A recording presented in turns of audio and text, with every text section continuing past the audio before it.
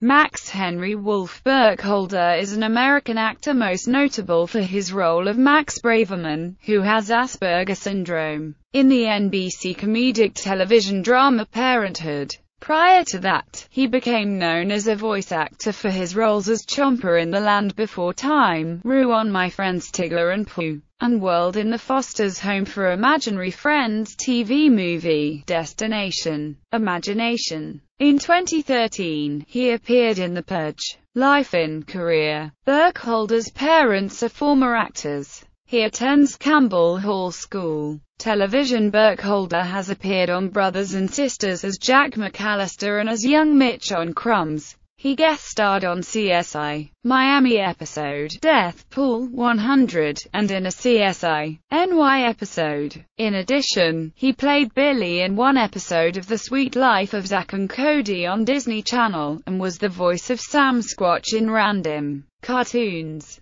He appeared in the TV series In Treatment and Love for Rent, and played the role of Duncan in the Grey's Anatomy episode, Brave New World. He also played a kid in an airport in the OC. Burkholder has lent his voice for several shows. He voiced Chomper in the Land Before Time television series based on film series of the same name. He also provides the voice of Roo on My Friends Tigger and Pooh, and played World, the imaginary friend inside a toy box in the Foster's Home for Imaginary Friends movie, Destination, Imagination. For Burkholder's role as Max Braverman on Parenthood, executive producer Jason Katims said, consultant Wayne Tashjian, a behavioral psychologist, looks at the script and meets with Burkholder and his mother about those scenes involving the Max character. Burkholder and his mother then practice the scenes by themselves. For special scenes, the show employs a second consultant to ensure accuracy